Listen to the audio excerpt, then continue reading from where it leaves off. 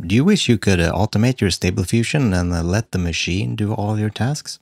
Well, you can. So uh, let's check out this uh, next part where I show you how. And by the way, don't try to spell part backwards. It's a trap.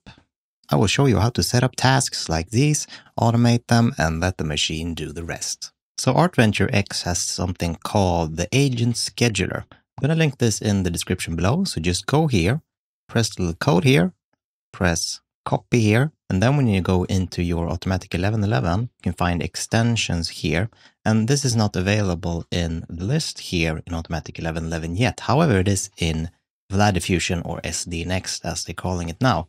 So if you're using Vlad, you can just load it from the list. However, we're just going to install from URLs, take the copy pasted link, put that in there and press install. Now when you install it and reload it, you're going to see agent scheduler up here and also the enqueue button here. So instead of generating, you can push this to send it to queue. Now, if you go into the settings here, you can find agent scheduler down here. As a default, we have disabled queue auto processing. So when you're queuing something or automating, it doesn't start. If you want the generations to start as soon as you queue them, you don't have to uncheck this button. We're going to leave this as is for now. Now let's go back to into our text to image. We're currently using the deliberate model. We're going to load our styles, the default negative and the digital oil painting. These can be found in the description below, free as usual. Let's put in cat in a hat. Let me just weight that up a little bit with control arrow up. And we're using four images and let's just queue that. Now let's change into penguin in a hat. We're queuing that up. And let's change the model here to, let's take Protogen and let's put in sci-fi penguin in a hat. And let's enqueue. Now we have put in three queues. And if you go into agent scheduler here, you can see what you have. We have three prompts, a cat in a hat, a penguin in a hat, and a sci-fi penguin in a hat with different checkpoints. We have deliberate on two of them and the protogen here. Now you can change more settings like the sampler, steps, scale and size, uh, but for now, we're going to be happy with this.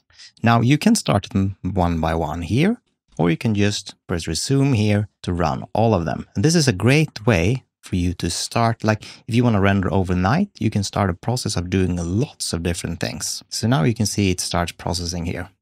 Now we're getting some cats, we got some women as well, this seems to be a penguin. Whenever this is finished, you can find it in task history here.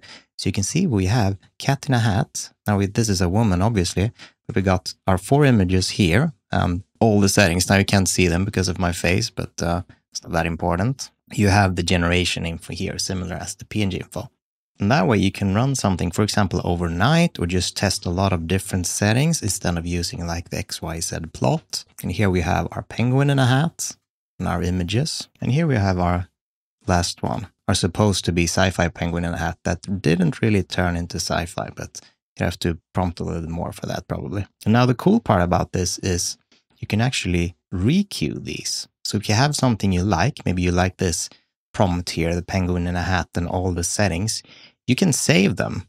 You can bookmark it here to remember it for later. And you can just, okay, I like this one. This I ran 10 of these overnight. This was the best one. Let's bookmark it so I remember.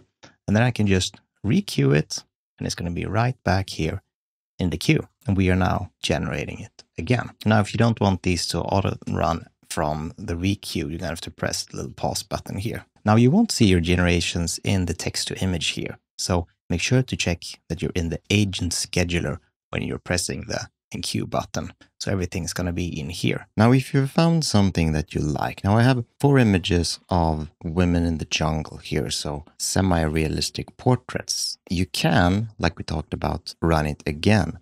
We could also send it back into text to image, image to image Inpaint or Extras. And that's done with the buttons that you can't see behind me. So I'm just going to show you here. So we have text to image here. If we send that right back, we're getting all the settings that we used. So this is a great way to save the settings. So it even saved the samplers, the steps with the height, seed, everything. So it's a super smooth way to just uh, get your settings back. And I think this feature is one of the best, if not the best feature of this extension. But this is a really cool and effective way to automate your workflow. So I hope you liked this little tidbit of information. Check back in for more tips on generative AI and Stable Diffusion. As always, have a good one. See you in the next video.